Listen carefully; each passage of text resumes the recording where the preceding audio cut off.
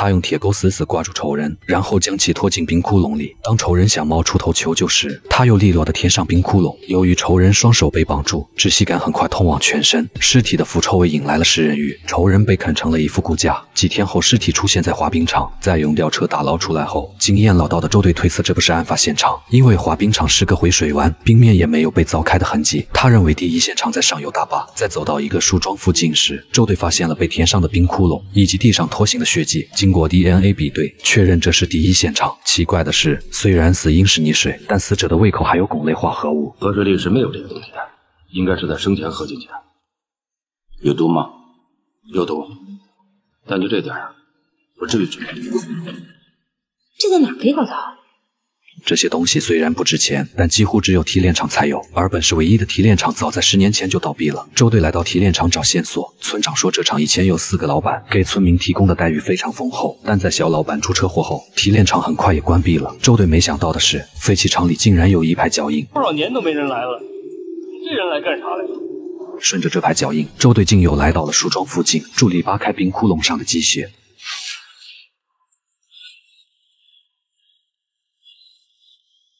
这具尸体的胃里也有同样的汞化合物，而且两个死者的身份正是提炼厂的大老板跟二老板。在意识到是连环命案后，周队又收到一条线索，赶快把你周队叫来。为什么？我能帮你破案。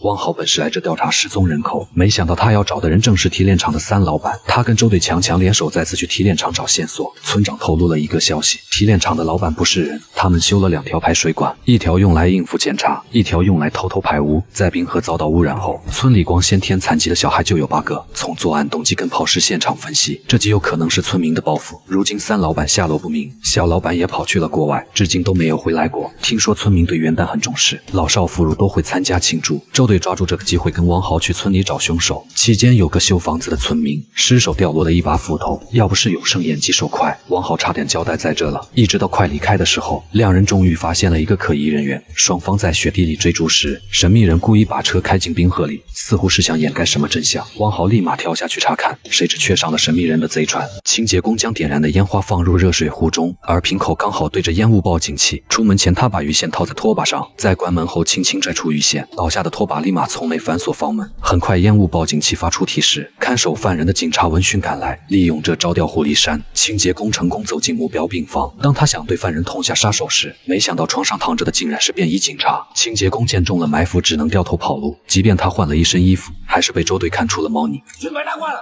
给我站住！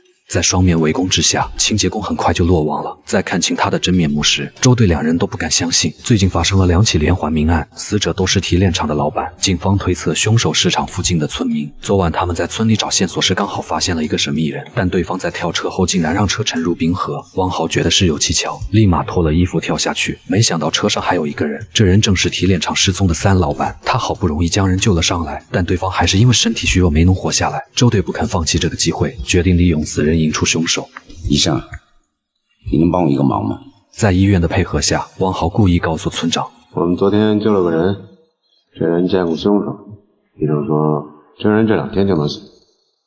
你回去跟村里人说一下，这案子很快就会破了。听到这个消息后，村长明显有点慌乱。在假消息散布出去后，当晚就来了个清洁工，也就有了开头一幕。这人是村民永生的朋友，但他被带回警局后，不仅招供了三起命案，还交代自己的真实身份，其实是提炼厂的肖老板。我回来就是要杀他们三个合伙人，对老吗还有儿子报仇。当年三个合伙人通过秘密管道将污水排进冰河，小老板发现后立马提出抗议，结果却是一家三口遭遇车祸，只有小老板捡回一条命。为了复仇，他将自己整容换了一个身份回到国内。在得知因为偷排的污水导致村里很多孩子生病后，小老板只能暗中自助赎罪。虽然他认罪非常积极，作案动机也毫无破绽，但周队的小助理却发现了一个漏洞。他在小老板家里收集证据时，永生突然敲门打听情况，同时他让助理提醒汪豪，掉冰河后一定要注意防寒。按理说，汪豪跳水救人的事只有警局跟凶手知道，而凶手已经被抓了起来。你怎么知道他掉进冰水里了？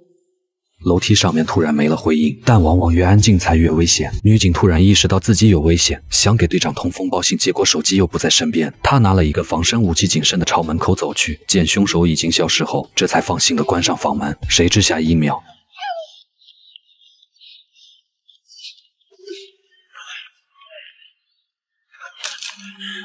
永生将女警捆了起来，在他准备杀人灭口时，突然被墙上的照片吸引。此前他杀了提炼厂的三个老板，还剩下一个小老板不知所踪。昨晚朋友主动替他担下罪责，但他刚刚却突然发现，他苦苦追杀的小老板竟然是替自己顶罪的朋友。由于对方整容了，他才没认出来。永生立马绑架了周队的女儿，让对方带着小老板来换人。不要试图追踪我，任何让我感到不安的事情，都会让你再也见不到你女儿。电话刚好被汪豪接到，他不想让周队担心，擅自带着小老板去换人。后知后觉的周队及时将汪豪拦了下来。你要记住，你是个警察。我知道我是警察，我也知道警察有警察的纪律。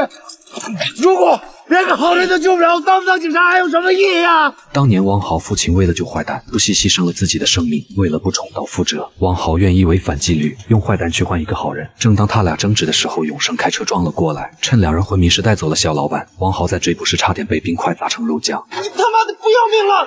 操！在跟周队的配合下，两人成功逼停了永生。但当他们卡在车里时，永生抢走了周队的手枪，在用电锯切出冰窟窿后，帮我把这个人扔到冰河里。我就告诉你女儿在哪儿。什么？原来当年永生的哥哥发现了提炼厂偷偷排污，四个老板为了掩盖真相，放火烧死了永生家人。永生命大才逃过一劫，成了孤儿的他受到好心人的资助，这才顺利健康的长大。而这个放火的人正是旁边的小老板。那些无辜的、生来就残疾的孩子报仇，我要把他们一个一个都扔进这个冰河里面。他们在这儿欠的债。必须在这儿还！在永生情绪激动时，小老板说出了放火的真相。你哥在不停的问我们要钱，他一直在勒索我，我们不答应他就要去揭发我们。